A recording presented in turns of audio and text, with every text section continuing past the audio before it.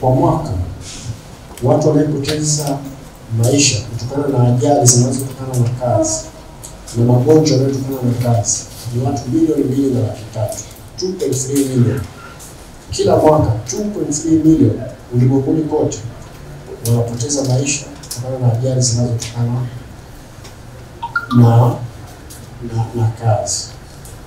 Ukienda ukisema 2.3 milioni, maana yake kwa kila mwezi ni takriban laki nne na kitu. Kwa kila siku ni takriban watu elfu sita wanapoteza maisha.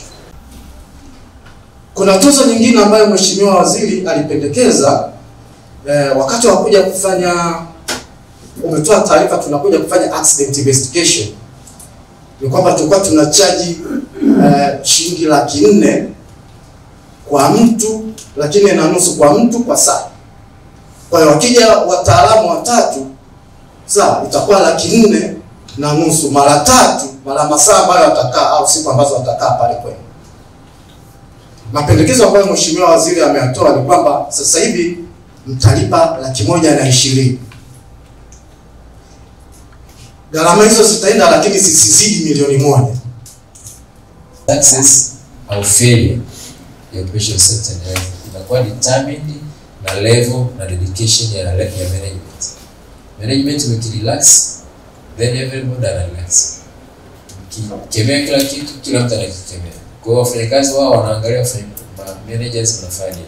Wakigundua kwamba nyinyi na nyinyi mna relax na wao wana relax, kwa sababu wewe kama mfanye yeye huwezi ukamkemea. Lakini ningetoa ushauri kwa OSHA kwamba wakitembelea katika maeneo ya kazi wasiongee tu na wakubwa wa kazi, pia wazunguke kwa wafanyakazi wadogo. Lakini eh, chonde chonde, mimi napenda niweze kusema kwamba uh, katika serikali au huyu wakala wa serikali ambaye ni OSHA basi aweze kuwa kila mara eh, anatuita sisi wadau eh, wa, wa, wa, wa, wa usalama katika kazi tuweze kuweza kuwa tuna kwa updated